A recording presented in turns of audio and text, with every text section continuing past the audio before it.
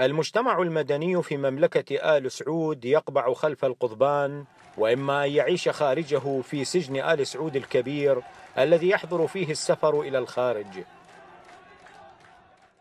يأتي في مقدمة قالة المنظمات المدنية مؤسسو جمعية الحقوق المدنية والسياسية المعروفة اختصارا بحسم وهم كل من القاضي سليمان الرشودي الذي يبلغ من العمر ثمانين عاما لم يراعي آل سعود حرمتها إذا أخضعوه للتعذيب ولسوء المعاملة وأصدروا عليه حكما بالسجن لمدة خمسة عشر عاما.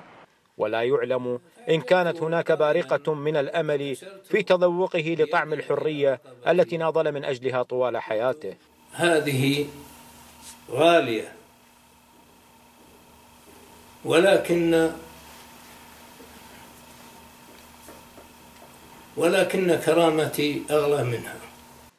مؤسس آخر للجمعية هو محمد القحطاني. يقضي هو الآخر حكما بالسجن لمدة عشر سنوات على خلفية دفاعه عن حقوق الإنسان وخاصة المعتقلين تعسفا فيما يقضي زميله عبد الله الحامد حكما بالسجن لمدة 11 عاما. قلب وضعنا من مبلغين عن انتهاكات إلى مدعا علينا بجرائم.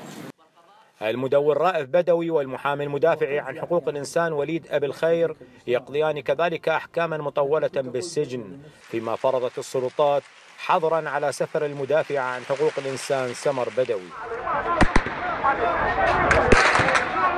هذا النظام الذي حول البلاد إلى مقبرة للمجتمع المدني ولحقوق الإنسان واليمن إلى مقبرة للأبرياء انتخبته الجمعية العامة لهيئة الأمم المتحدة عضوا في مجلس حقوق الإنسان فيما لا يزال أدعياء الترويج للديمقراطية وتعزيز حقوق الإنسان في العالم يعتبرونه حليفا استراتيجيا لا يمكن الاستغناء عنه. أنا سعيد أيضا إني أشوفكم في المكان المفضل لي. نعم وسهلا Always welcome. I love, I love this place. أنا أحب هذا المكان كثير. هذه بلدنا الأساسية This is my original. This is our original hometown.